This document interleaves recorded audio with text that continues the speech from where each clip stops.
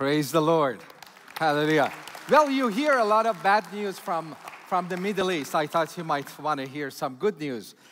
Uh, what you hear in the news is mostly what man is doing and what the enemy, Satan, is doing. So I'm here to tell you what God is doing in the Middle East, and that's very encouraging. God is active. God is, has a plan for the Middle East, has a plan for Muslims, and we as Christians have to find out what He wants to do and join Him.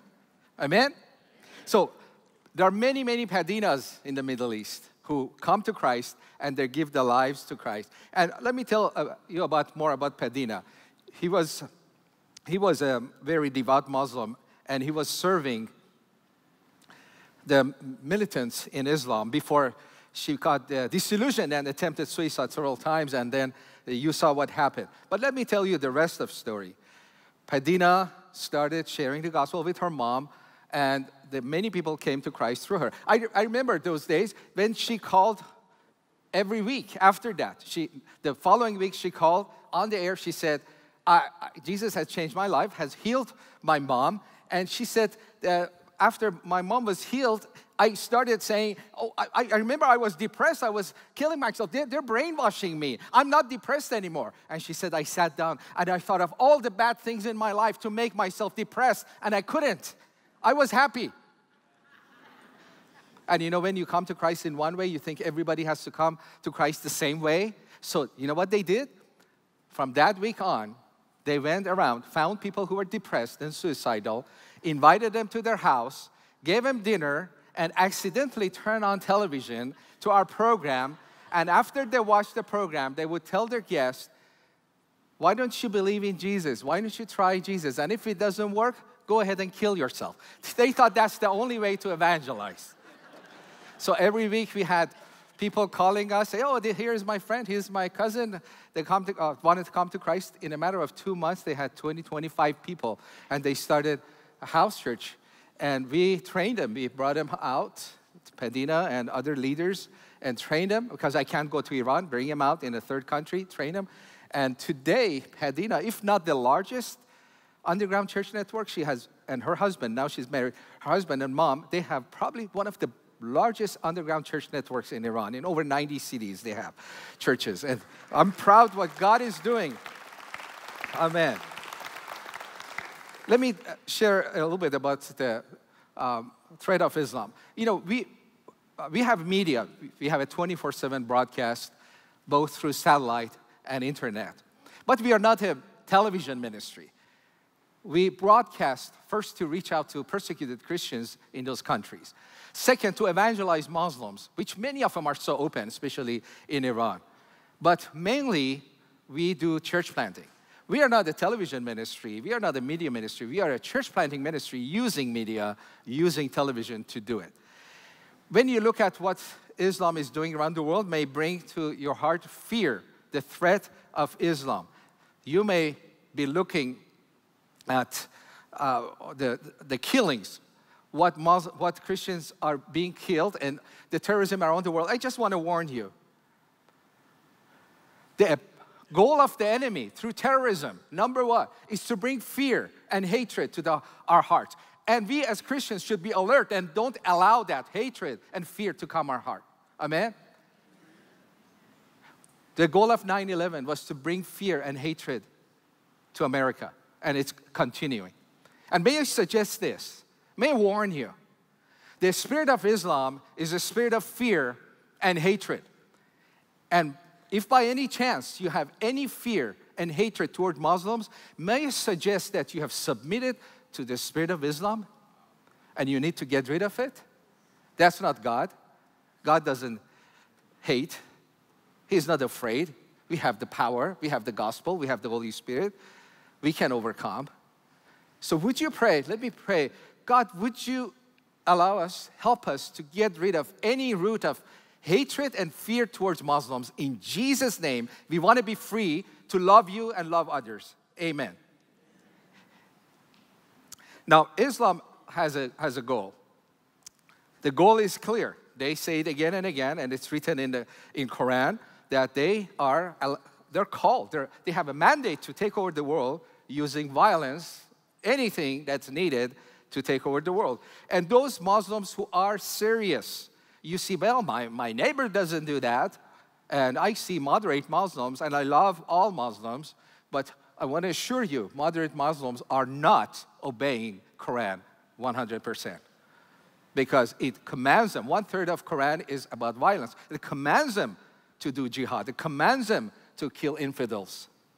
And if they say, "Oh, I'm very peaceful," then you're nominal. Just like nominal Christians who don't follow the teachings of Jesus closely, there are nominal Muslims who don't follow the example of Muhammad and the teaching of Islam. So, but be, be aware. I'm not here to bash Islam. I've given my life for Muslims. I love Muslims, but we have to tell the truth. I'm so glad about it that we are no longer want to be politically correct. I, I support that idea. Now, Iran Islam is, uh, is the greatest threat to the peace in the world. Let, let's settle that. It's the source of persecution for all Christians, the greatest one. And it's the largest people, unreached people group in the world, 1.6 billion, which God, who God loves, and the most ignored mission field in the world. Largest number, unreached, but nobody is, or very few people are caring to reach out to them. It, number one, because it's hard. Of course, it's hard. But with God, nothing is impossible. God wants to share the gospel with them. Don't you believe that? You know, God ha- loves them and has a plan for them? Do you believe that? Sometimes we don't believe God. 1.6 billion. God so loved the world. Don't you think so? Don't you think God has a plan? Don't you, if you ask God, God, what, are we going to do with this 1.6 billion? What, what's happening in the Middle East? Oh, God, you know, we are so confused. There's so many things going on. What is your plan? Do, do you think God is going to say, I don't know? God has a plan and He's doing it. And He calls us to join Him. Why should we share the gospel with Muslims? Number one, because love. God loves the whole world and He asks us to love because we have His heart. And the whole world includes all these Muslims. Number two, if you don't, you don't feel love, then there is another motivation. Obedience, because he said to go to all the world and share the gospel. Amen? And if, if the love and obedience doesn't motivate you, I have a third motivation for those kind of Christians. I'm sure they're not here. The third motivation is if you don't share the gospel with Muslims, they're going to kill you. How, how is that for motivation? Okay?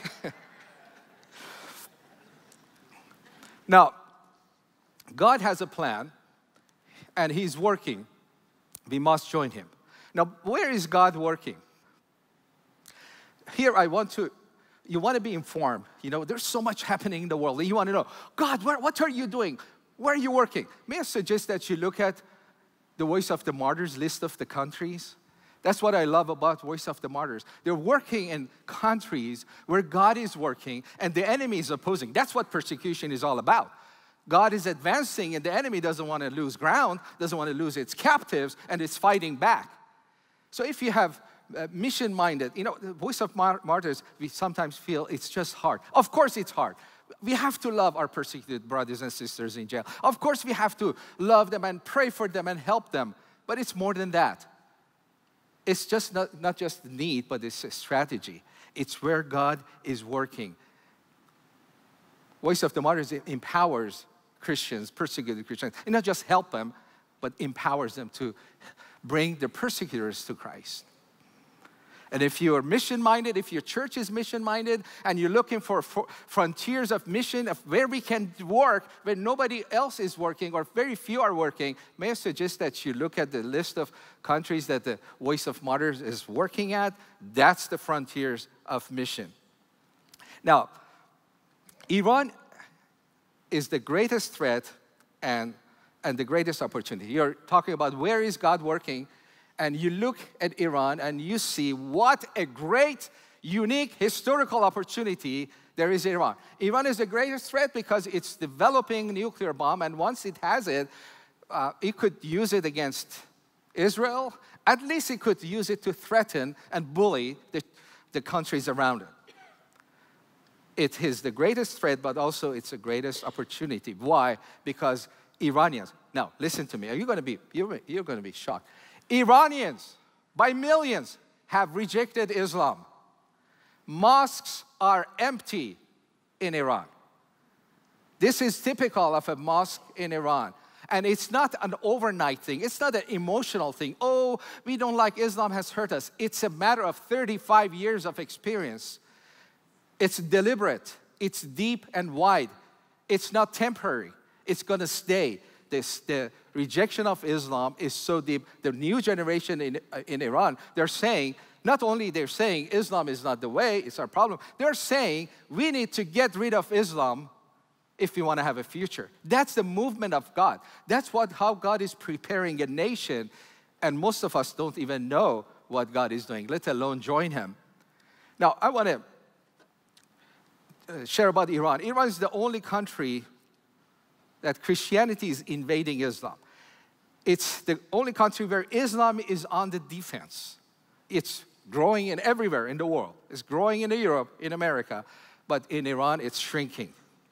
And it's the country where Islam is experiencing its greatest defeat in history. That's a big word. But if you look at history of Islam and the world, never, never something like this has happened, that the whole nation is done by Islam.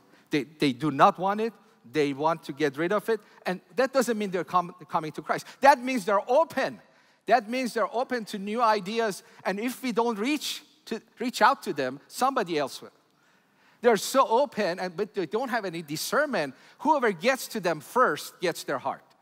We got to move fast. There is an open heaven in Iran. I want to shock you with this. I believe Iran will be a Christian nation. How about you? What do you think? Well, praise God, the believers are here. That's good. But even if you're not sure, I want to assure you because the Bible says that. And I, I think that settles it, right? Bible says, Jeremiah 49, 34 talks about what's happening in Iran.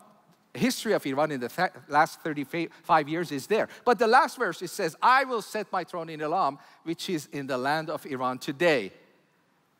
And setting my throne is not just number of Christians, not just number of churches. You know, in Dallas we have so many churches, so many Christians. Does, does it mean God rules in Dallas or Texas? No, it, it's, it's good that we have that many Christians in churches, but it's more than that. It means a society where Jesus is known in every segment of society.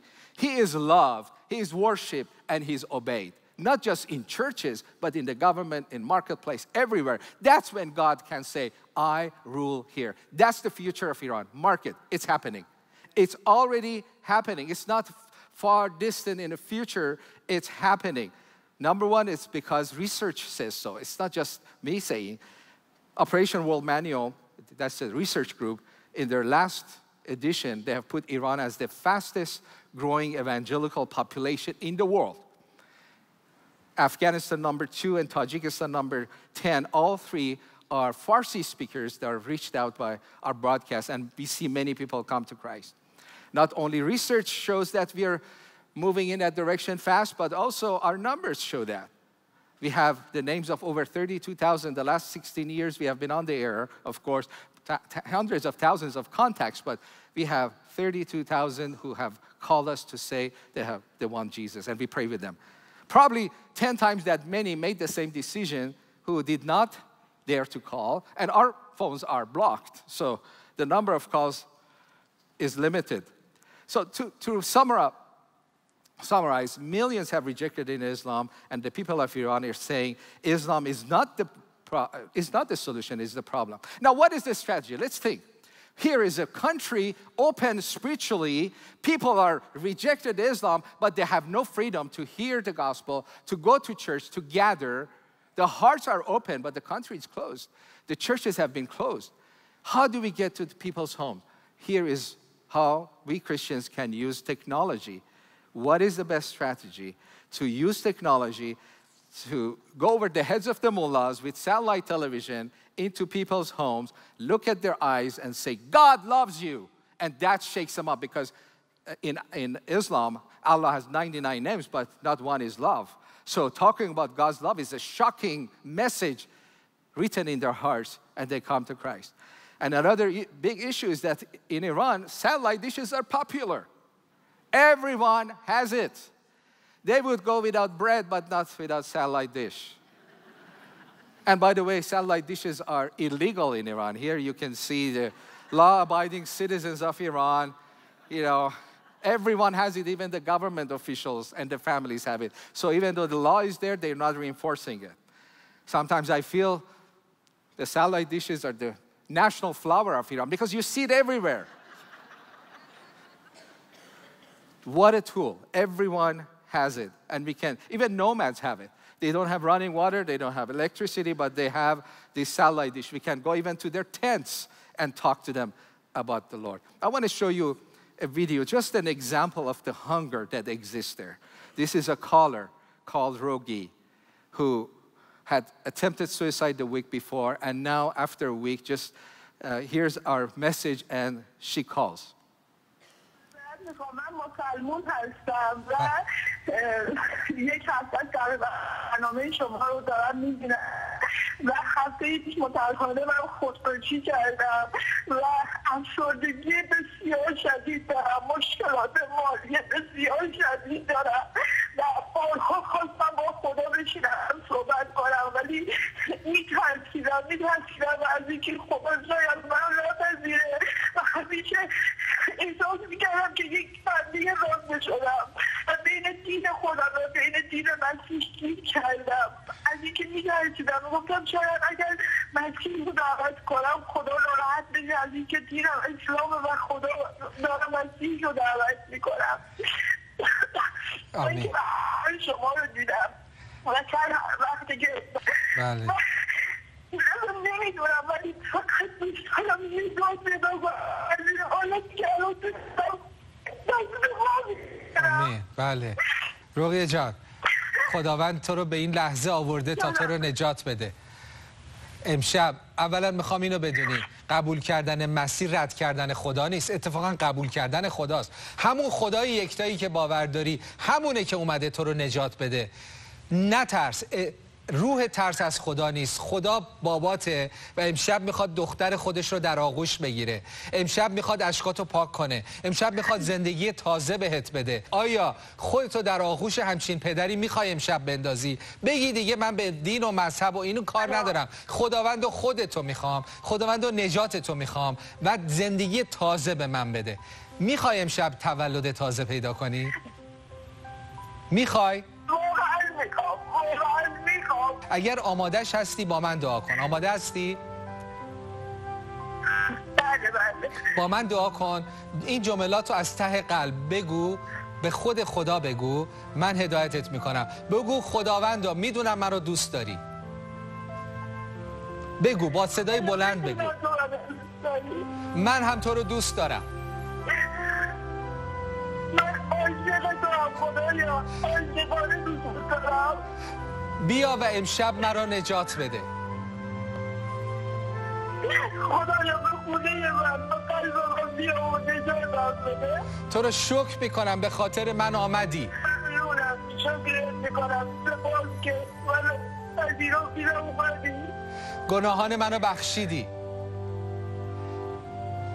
گناهان من من قلبم به به وجودم به همه اموراتم دعوت می‌کنم. از امشب- آمین. بگو از امشب دختر تو هستم و تو پدر من. خدا تو پدر منی. من دخترتم ضعیفم آمین. آمین. آمین. تو رو شکر می‌کنم مرا پذیرفتی. گذشته مرا پاک کردی. ممنونم گذاشتم و سپاس شکر می‌کنم. و شکر می‌کنم برای آینده روشنی که در تو دارم. شکر می‌کنم. بابت آینده روشنی که تو برام در انتظار داری خدایا. عیسی مسیح مرا عوض کن. من چند می‌خوام من عوض کنی. به نام عیسی مسیح. آمین. آمین.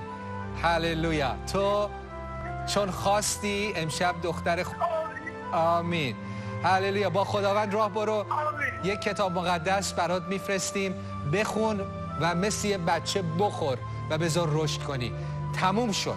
دیروز تو تموم شد. دیشب تو تموم شد. روز تازه ای تو زندگیت شروع شده. و این روز با بابات. دیگه تنها نیستی. دیگه بیکس نیستی. خداوند پدرت باهات هست. خداوند با تو بلکه در تو هست. تو دیگه تنها نیستی. با خداوند زندگی کن. آمین. آمین. تو رو به خداوند میسپارم و می‌دونم به دستای خوب کسی میسپارم. هللویا. معمولیتت یادت نره. آنچه که امشب گرفتی مال دیگران هم هست. عزیزی. Praise the Lord.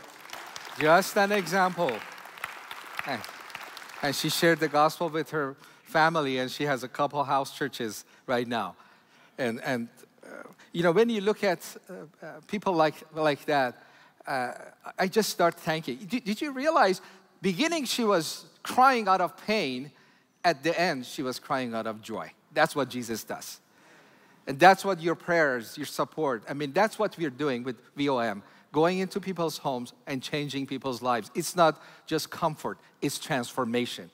And people like Muslims who come from darkness to light, they, they appreciate the light and they become, they, they can't sit down, they, they will follow, they will do. And here I wanna, I wanna change your notion about Christian television, at least in the Middle East. In America, I know. When I say Christian television, you say, oh, not again.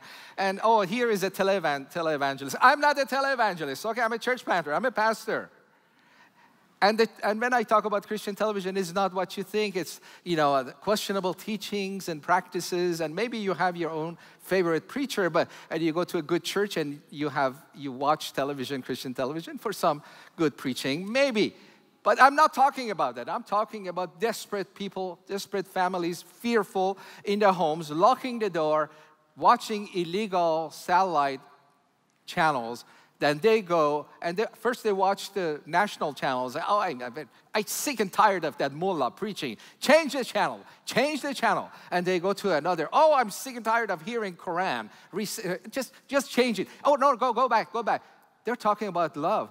They were talking about forgiveness talking about God is not what, what we thought. Let's watch that. And they watch it as a family. They come to Christ as a family and they become dedicated. I want to emphasize that. These are not television believers. In, in the West, we say, a television believer, we have a negative view. Oh, he's just a weak Christian. They don't do anything for God. They don't go to church. They just watch television. No, I'm not talking about that. I'm talking about people who are converted, changed, and they're ready to live and die for Jesus. I remember this man called me. Uh, Well, let me share the, about the, the, the, woman. The woman looks like have a, a better, you know, faith and dedication, just like her. But there are men also. Uh, th this woman called me after the program, and uh, I've had time to talk to her. But I was so impressed by her knowledge of the Bible. Uh, about 20, 25 minutes we talked, and every subject that we talked, she had a biblical worldview. Talked about marriage, talked about persecution, everything. I, I was so impressed. In my heart, I was saying, some of, some of my elders don't have that complete worldview, Christian worldview. And I was jealous myself. I said, she's reciting verses from her heart memory. I don't know that many verses by heart. 20 minutes later, I said, Hey, lady, uh, I'm so enjoying talking to you. Just tell me why you called. And she said, I called because I need a Bible. I don't have a Bible. What are you talking about? You're, you are a walking Bible. She said, How could that happen? When did you come to Christ? She said, One year ago. In one year, without a Bible, you, you sound so mature. How did that happen? And she shared something. I think that's a key to discipleship. She said, I watch your programs. When you teach, I take, I take notes. And when you use a verse, I write it down, I memorize it, and I obey it. No church, no pastor. But God is working, not weak Christians, strong Christians. Let me share another one that put, brings some of us to shame. This woman said, I've been married for 27 years. And a few months ago, my husband married a younger woman, 20 years younger. And I have three kids, taking care of kids. And in Iran, a man can marry multiple wives. And he said, uh, she said he came home and just said, I married another one. I'm not going to be with you. I'm, I'm going to be with him, with her. And every, many nights she would, he would come home and I would fight. I was angry. I was negative. I would just bash him, I just insult him every night. And he would just go, he says, I, will, I won't be here. I will go with, with the other woman. And I watched your programs. You talked about Christ's love. I felt so rejected and broken. And you said, Jesus accepts me and heals my heart with his love. And I accepted Jesus and it brought so much healing in my heart. I started treating my husband differently. And he would come home and look at me. He expected me to just fight and, and cuss at him, and I didn't. He said, Are you okay? Do you need a psychologist or something? I mean, you sound like different, crazy. Should I take you to doctor? And then she said, after a while I watched, see, this is a progress. Uh, after a while I watched that if your husband doesn't love you, Jesus loves you even more. And the love that Jesus gives you, no man can give it to you. Even if you have a good husband, you will not be totally satisfied until Jesus comes to your heart and loves you. I said, Jesus, yes, yes, Jesus. I said, I pray. I said, Jesus, you are my husband. I, don't have a husband. He doesn't love me. He rejects me. You are my husband. He said, then another day, I I heard that you want, you want us not just to forgive our enemies, to, but to love our enemies. And I said, okay, who are my enemies? Okay, my husband and my, that woman. Okay, and now what should I do to love that woman? Oh, I know what to do. And she said, I called her. I said, you called her? She said, yeah. And, and, and, the other woman was, was very nervous. She thought I'm going to just uh, be bad mouthing her and insulting her. I said, wait, wait, wait. I, I'm, not, I'm not calling to attack you. I just want to share something. Okay. She said, You know, you stole my husband from me, and I love you and I forgive you. But I want to tell you, now I have another husband who is even better. He's even more loving. And I want to introduce him to you. And if you sp- uh, spend time with him, I won't be jealous. You can spend as much time with him as you can. And he, she said, I shared the gospel. Do we find faith like that here? I, I think we do, but it's not common. To love your enemy in such a way to even share the gospel with them lovingly. That's what God is doing. Of course, visions and dreams are common in Iran. People are coming. I mean, uh, they say, We saw Jesus, Jesus healed me all the time. I mean, you saw, the, you saw it with Padina, but there are so many stories of how Jesus appears to them or heals them. Sometimes I feel Jesus is running a special for Muslims these days, you know, special appearance. And sometimes I feel if you want to see Jesus these days, you got to be a Muslim. I mean, I, there is something God is doing for Muslims, special.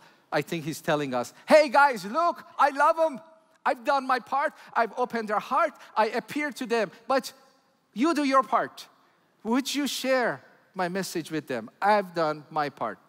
In Iran, when you see persecution, it's because of reaction. Here are some typical groups, churches, house churches, and they watch, and then they, we, we teach them how to have a house church. They're not just watching television, we tell them how to gather, how to study the Bible, how to love one another, how to form a house church.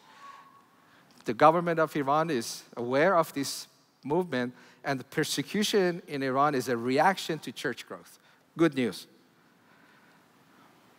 Our brothers and sisters are in jail, beaten, raped all the time. The churches have been closed, the building churches, and that's why we, we've changed our channel the last two, three years to provide church services, deliver them into people's homes.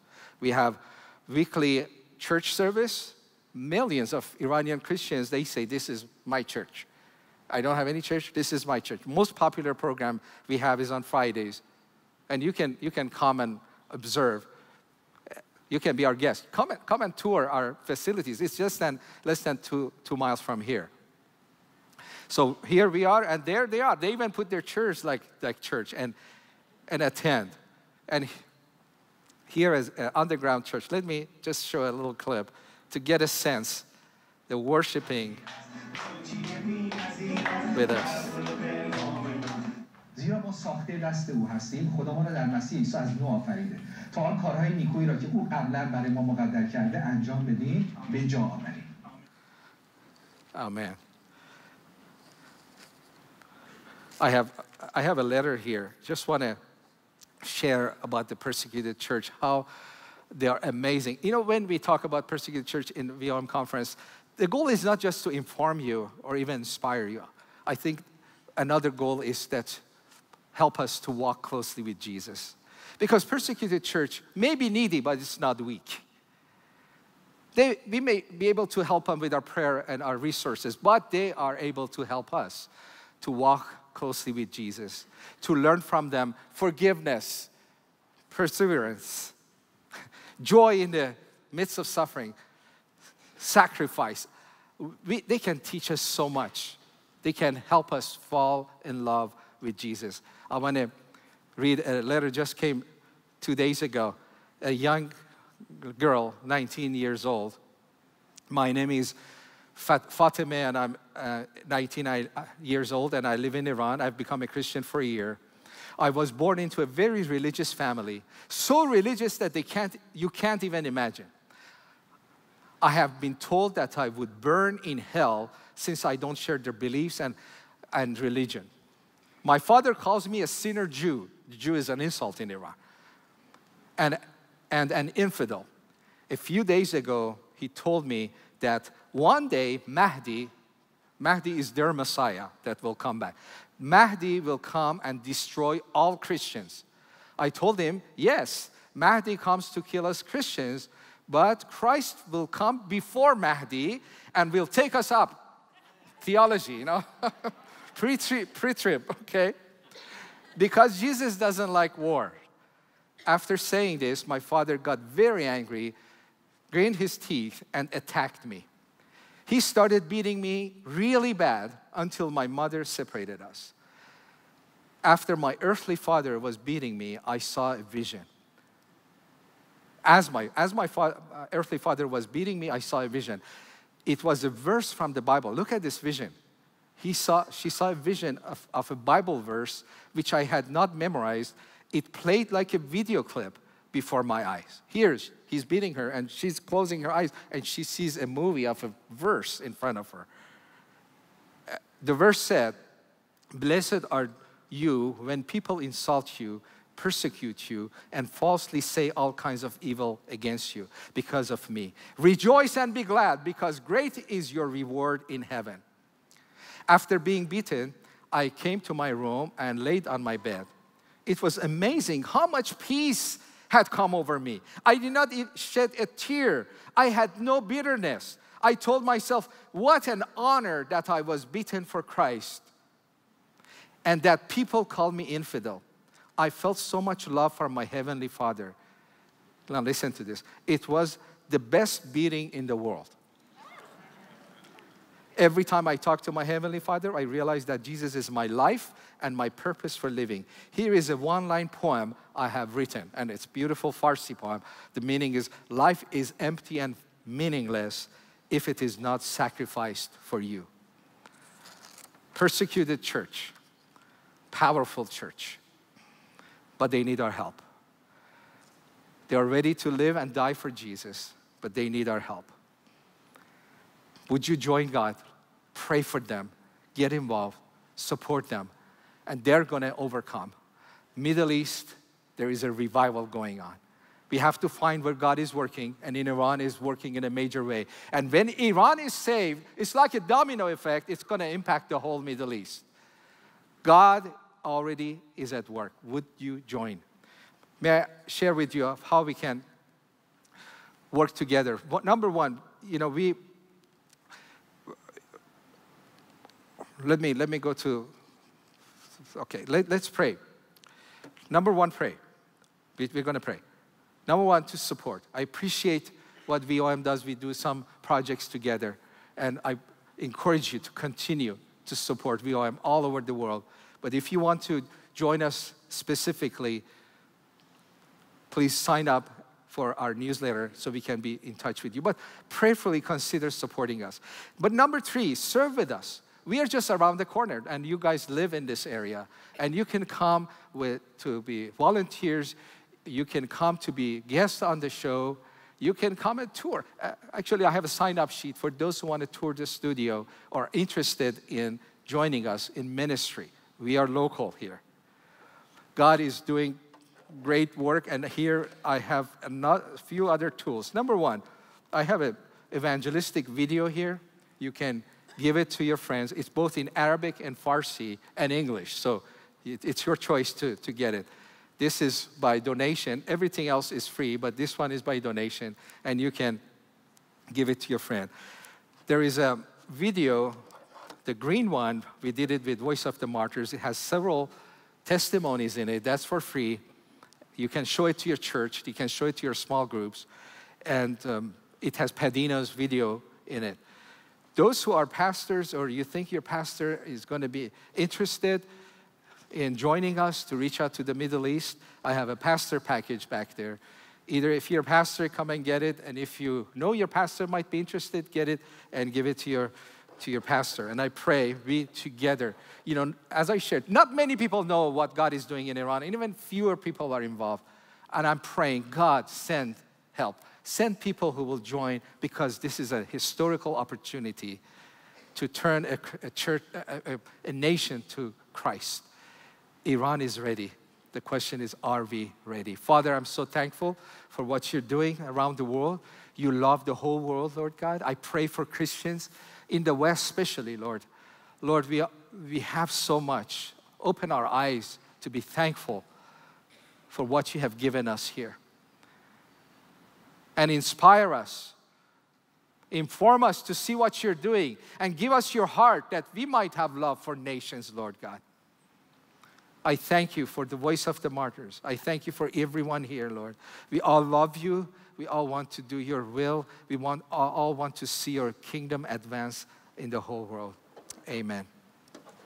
Thank you. Amen. Thank you, Pastor. We're going to join together, and uh, Donnell, if you would come up, and, and let's have anybody from Iran Alive that's right here. If you want to come up, we're going to pray for you as a ministry. We're going to join together and, and uh, lift you up before the Lord. So we're going to stand, and anybody from Iran Alive, come on up here. And our brother John, who is actually our frontline worker, also brother John, two brother Johns.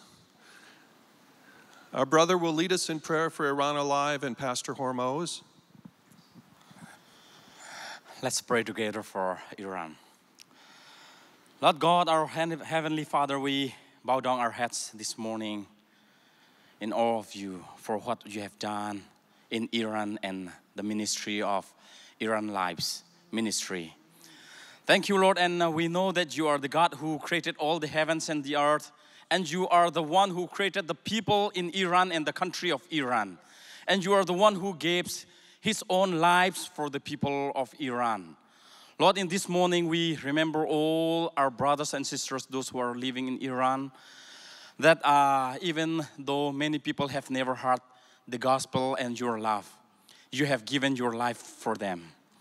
Lord, uh, we pray right now that uh, your Holy Spirit may move over the country of Iran as a mighty wind to break down all the powers and principalities of the darkness and the power of Satan and the power of all the bondage, Lord. And Lord, we claim the country of Iran to be your inheritance. And Lord, uh, we pray that uh, we pray for we pray especially for Iran Lives Alive Ministry. Lord, whenever our brother uh, Hormoz share your gospel in the satellite, I pray that your word and your voice may be heard through his speaking, and your face may be seen in the TV and in the satellite, so that Lord, many people can may come and hear your love and experience your salvation, Lord. I pray we remember those who are in bound and those who are in prison and those who are being persecuted in the country of Iran. We pray that you be their comforter. And you, we pray that you are you may be the rock and you may be the shelter for them, Lord. May your love and your may uh, grace be experienced all over the country of Iran. And may your voice be heard and your, may your gospel be preached in every corners and in every TV and every satellite. We pray for hearing your, our prayer. We pray, we give thanks to you for what you have done in the country of Iran and what you have done with the ministry of Iran Alive Ministry. May you be uh, the God and may you be, oh dear Lord, in, uh, in their houses and all, every family. Thank you, Lord, for all you have done with us in this morning also. In Jesus' name I pray. Amen. Amen. Amen. Thank you, Brother John. Thank you. Praise the Lord.